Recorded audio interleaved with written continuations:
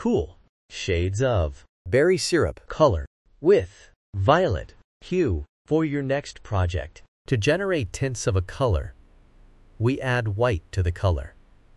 And tints creates light and exquisite emotions. To generate shades of a color, we add black to the color, and it is used in patterns.